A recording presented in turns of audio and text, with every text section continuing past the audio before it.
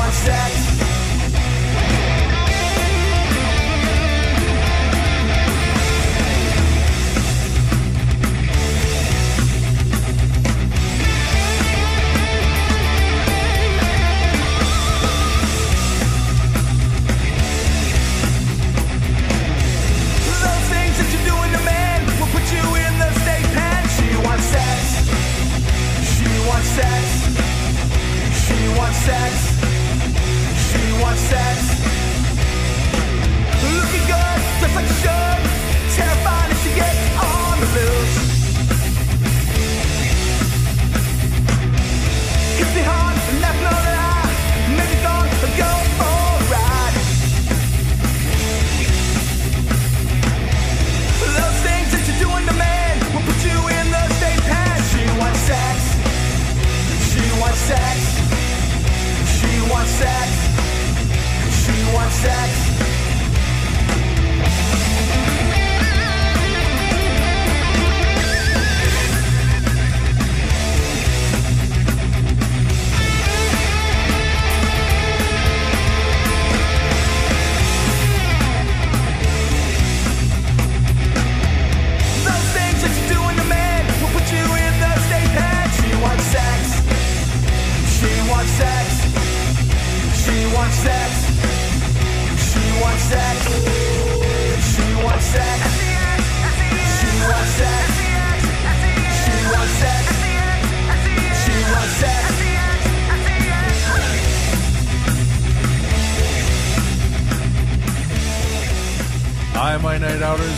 To another episode of My Night Out Radio on RI Free Radio.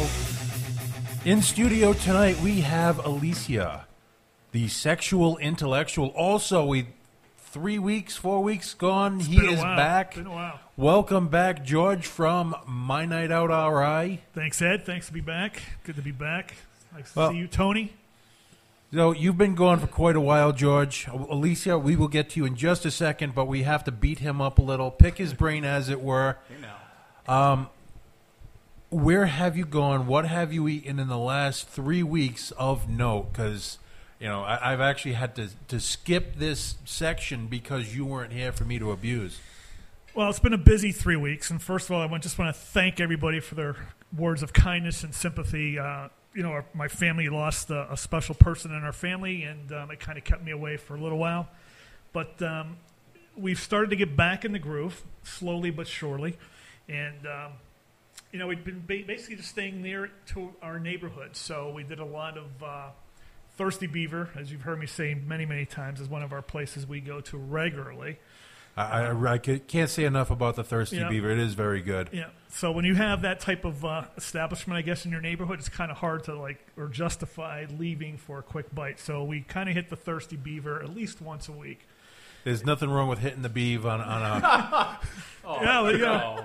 We had the uh, first to the Thirsty Beaver. they just started to serve clams at the Thirsty Beaver too. So This is going to be one of those episodes It's gonna be similar to the, show. the the illicit Sess Carney episode. Sess, if you're listening, we had a great time. But uh, yeah, we uh, Thirsty Beaver's always a, uh, like I said, a, a weekly um, stop for us.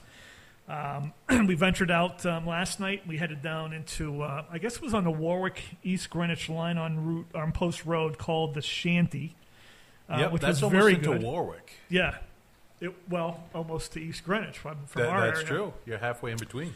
So we had this great little meal called um, the TV dinner, and the TV dinner comes out served on a prison tray, and uh, and it's like a cafeteria style. So you got all your food at once right on this tray, and it was pretty good. So we enjoyed that, and then. Um, you know, now that it's summertime, we'd love to be outside in Rhode Island. So uh, yesterday we did the um, the Hope Street Farmers Market, which is in Lippitt Park. Okay. Fantastic! It's always um, th- that that event seems to get bigger and bigger every year. It runs from now and through October, and there is a number of local businesses there that you can support, uh, both uh, from a food standpoint, and there's also some other vendors with uh, crafts and and, and uh, you know uh, things that you can buy as well. Well, I heard that, and this is only my, doing my own reconnaissance because I am the uh, the Facebook stalker. Um, you uh, you hit a local Rhode Island landmark while you were uh, on hiatus. You hit Wright's Chicken Farm, which is near and dear to every fat guy's heart. I got to Well- tell you. It's not one of my favorite places to go. I'll, I'll be honest with you. It's it's just not one of my favorite places to go. But it, it's usually a place that my wife's family selects whenever they want to celebrate something for some strange reason. It's like let's Because go to it's Wright's good. Farm. Um, Well, it's okay. Little Rhode Island history. There's, there have been three epic chicken places that, uh, of such. You have Wright's Chicken Farm. You have uh, Village Haven, which is only about five miles away from Wright's Chicken Farm. The only difference is Village Haven has cinnamon buns versus uh, just the regular rolls. And unfortunately, it is now gone. In Central Falls, there was Conrad's three. There are other places that do the chicken dinner the same way, or, or similar, I should say. It. Uh, you, you have West Valley Inn, but of note, the, those are my three favorites. Yeah, so I guess when you have 25 people that need to go to dinner at once, Wright's is probably the place to go. But it's just hard to imagine how that chicken's being prepared in that back. They were on. they were It on. just comes out within seconds. Well, it, they they prepare it. It's cooked for hours beforehand. No, well, you, if you watch food TV as much as I do, trust me, mm-hmm. they have actually been on twice on Food Network to show how they cook their chicken and how they get the chicken the way it is. It is amazing. I mean, when you're feeding a thousand people at a time, oh yeah. it's fascinating how efficient they are. Oh Uh, exactly. they know exactly how much food to bring out because it's very rarely that you ask for anything more. Well, the uh, the place I have to mention, uh, new restaurant's only been around for about five months. It's the first time. You know, you got to let them work out the bugs the first couple of months. Uh, Jason's Asian Bar and Grill, which is literally down the street from the shanty.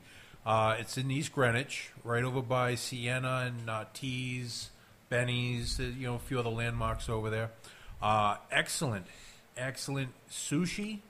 Uh, I had myself a zombie over there, which was unbelievable. It was borderline unflammable. And they had something I've never had before, which was sushi pizza. Oh, It sounds it sounds wrong, but it is so right. And you- everyone is shaking their head except for the Sounds people who have been. No, they, they, they use they don't use regular dough. They use a wonton or an egg roll wrapper. They cook it and then they put the sushi on it after. After it's it's cold, but not ice cold because you have the a little bit of warm from the uh, egg roll wrapper. The sauce on it. They use either uh, salmon or spicy tuna, and it was absolutely phenomenal. Um, they have rolls there that range anywhere from the six seven dollar range upwards to the fifteen dollar range. Definitely, definitely worth a try. Uh, even if you're into just the tiki drinks, they have a very large selection of the tiki drinks. Uh, like I said, I did the zombie. They have the fog cut cutter, the mind eraser. The, the, the, I think you took a picture of the zombie, right? Didn't you post it up? I think I no, liked that that's- picture. That would that would be Tony. Tony's the one who takes pictures. I believe that was the headhunter that I uh, I had I don't know. enjoyed. Somebody posted a drink. It looked delicious. I just like on Facebook. I'm like, oh yeah, it looks nice. Wh- which is a perfect segue uh, to Alicia because Alicia does a lot. Well, she is the sexual intellectual. that pretty much speaks for itself. she uh, she has been seen occasionally at local fetish nights, um, which brings me to my first, you know, question to you. Have you ever noticed in conversations at either a fetish night or even just in in sex talk in general, people will allude either as you're talking about sex, they will trans uh, transverse or, or the, the, the the conversation will go towards food or if you're talking to these same people about food it'll just slide over back to sex it, it's like the two go hand in hand with this, the sensual feelings and emotions they they evoke I think it's because they both make people really happy. I mean, you have sex, you're happy. You eat, you're happy. So maybe it's just two things that kind of coincide with each other because of the feelings that they bring. I personally, every single conversation I have on the face of the earth ends up talking about sex. So I gotta be like, oh yeah, you went to church today? So, sex.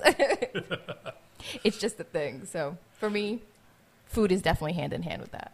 all right well why don't we uh, get a little bit of your background how, number one how did you get named or did you name yourself the sexual intellectual and, and what do you have to back this up Wow. That's a good question. That's a really good question. And I have to do some. It all started back when. Um, no, about two years ago now, maybe two and a half years ago. Um, I was dating somebody from the local music scene, and they had connections at another local radio station. well you could say wbob Okay, just checking. I like to play it safe. I'll let you say it. And um, and they just kind of reached out, and you know, the idea was thought about like, hey, we want to do this show about sex, and you talk a lot about it, and you seem to know a lot about it, and you're having a lot of it. So, do you want to do it? And um, so, through some brainstorming between all of us as a whole, we thought it was a cool idea, and I figured, what the hell, I don't really have much to lose. And then it became a hit, and so I started doing my own full time thing, and then we kind of parted ways. And so now I do my own podcast about sexuality. Okay. Now, your education or your background inside, you just you have a lot of it, therefore you know a lot about it. It started off that way. So I, I did things um, a little bit backwards compared to most people. So most people go to college and then they do their profession. I started off doing my profession um, just because I had a lot of not personal experience, not just personal experience, but I had done a lot of research, and it had always been something that was a passion of mine. So I did. I watched a lot of documentaries, and I read a lot of books. Um, and I read a lot of books too. Unfortunately, there's mostly pictures in the ones I read. that's a different kind of book. Um, and so then I started doing the show and meeting. Can't be serious around here. Um, and then I started meeting people in the field, and I did an internship at the local uh, Center for Sexual Pleasure and Health, and that's in Pawtucket, Rhode Island. Okay.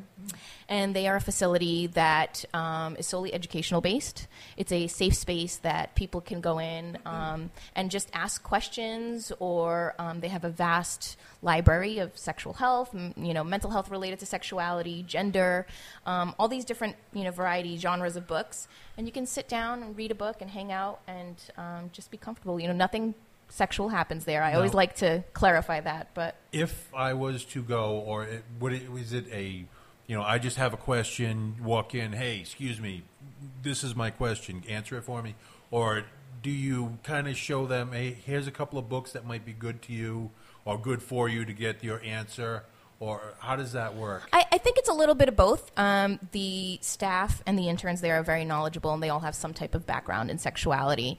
Um, if they didn't have the answers for you, they would definitely provide the resources, and that's part. It's it's a little bit of everything. So it's a little bit of you know discussion in the moment. It's a little bit of here are these resources for later thinking or later research, um, or if I haven't you know answered your question to to the full extent. Because some people come in and they have a question, and that's only the the tip of the iceberg. You know, a lot of us carry shame with our sexuality. We're not really comfortable just asking strangers about questions. Um, and we're lucky these days you have the internet, so there's a vast you know majority of information out there. But I'm I'm very well versed in the internet stuff, but then again.